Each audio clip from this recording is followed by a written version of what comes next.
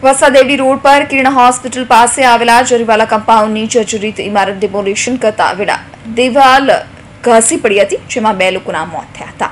આ ઘટનામાં માલિક એવા પિતા પુત્ર સામે ગુનો નોંધ્યો હતો. ગુનો નોંધાતા વીસ દિવસથી ફરાર આરોપીઓ અંતે પોલીસે હાથે ઝડપાયા હતા. તાજેતરમાં જ કિરણ હોસ્પિટલ નજીક જરીવાળા કમ્પાઉન્ડની ડિમોલિશન દરમિયાન સ્લેબ તૂટી પડ્યો હતો.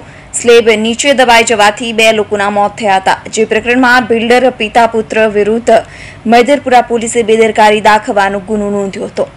ગુનો નોંધાતા સાથે જ બિલ્ડર પિતા પુત્ર જાણે ભૂગર્ભમાં ઉતરી ગયા હતા.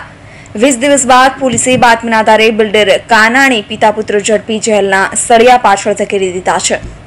બ્યુરો રિપોર્ટ હેન્ટીવ ન્યૂઝ સુરત.